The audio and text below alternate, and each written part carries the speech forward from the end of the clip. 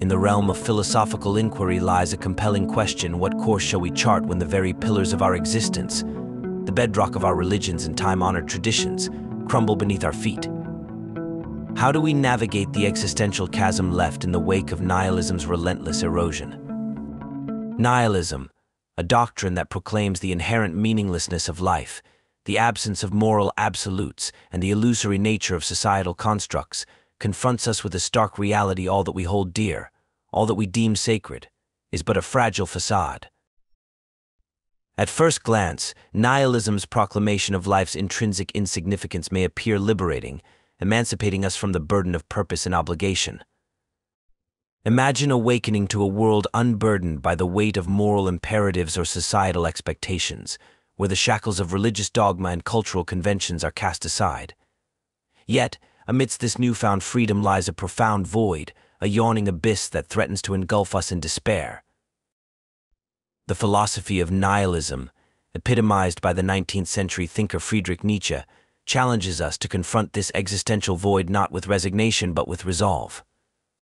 Contrary to popular belief, Nietzsche did not advocate for a nihilistic society, rather, he viewed nihilism as a necessary crucible, a trial by fire through which humanity must pass to forge a new moral order. He posited that the world possesses no inherent structure or meaning, except that which we imbue upon it through our perceptions and beliefs. Nietzsche's philosophy serves as a clarion call to transcend nihilism's negation, to seize agency in the face of existential uncertainty.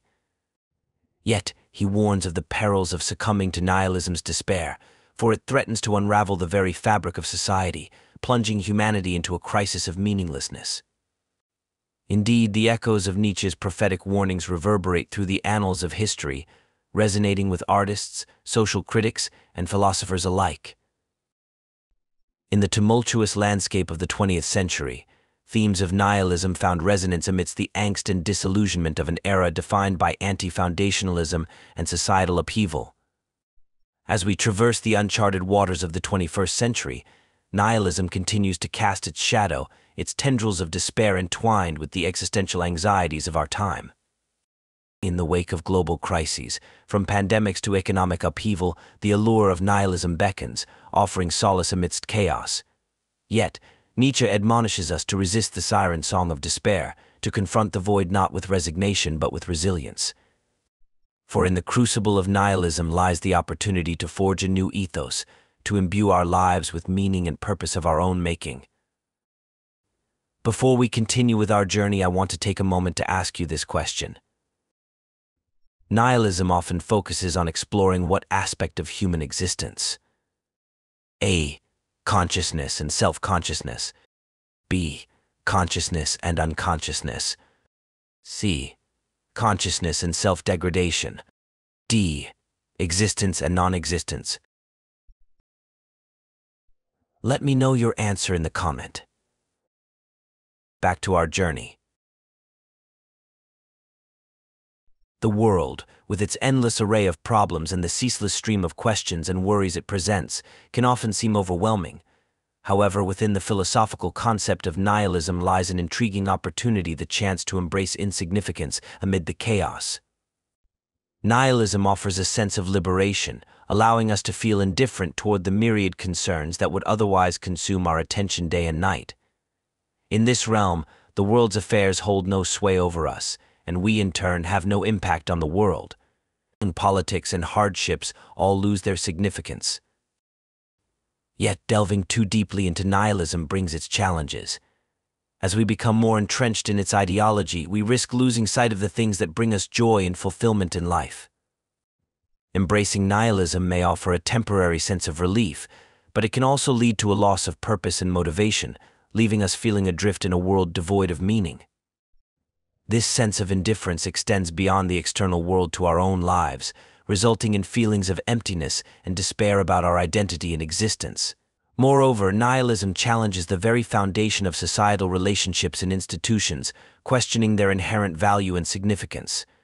Without shared values and ethical principles, we risk societal disintegration and disconnection from those closest to us. In navigating the complexities of nihilism, we confront profound existential questions about the nature of our existence and the pursuit of meaning. It is a journey fraught with uncertainty and introspection, yet it also offers the opportunity for personal growth and self-discovery. Ultimately, while nihilism may offer a unique perspective on the world, it is essential to approach it with caution and awareness of its potential pitfalls.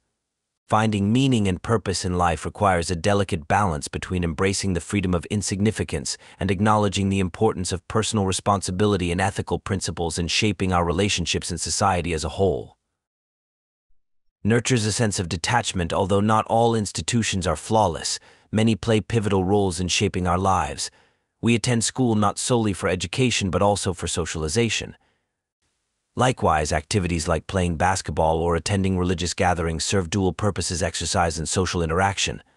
These gatherings underscore the significance of community in fostering longevity and well-being. Moreover, these interactions cultivate empathy, a unique trait of human beings. To forsake empathy, as nihilism suggests, is to discard a fundamental aspect of our humanity, resulting in fractures within our social fabric a concern that deeply troubled Nietzsche. He perceived nihilism as a consequence of people's disillusionment with religious doctrines, particularly in the aftermath of the Enlightenment. As belief in God waned, the traditional meaning of life lost its relevance, leaving a void often filled by suffering and pain. Nietzsche emphasized the necessity of embracing profound experiences to truly live. He believed that from the depths of despair, the highest forms of growth emerge.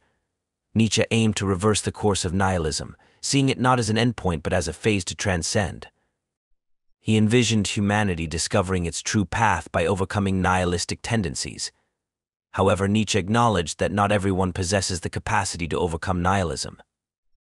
He categorized passive nihilists as individuals resigned to a life devoid of meaning, succumbing to feelings of emptiness and despair.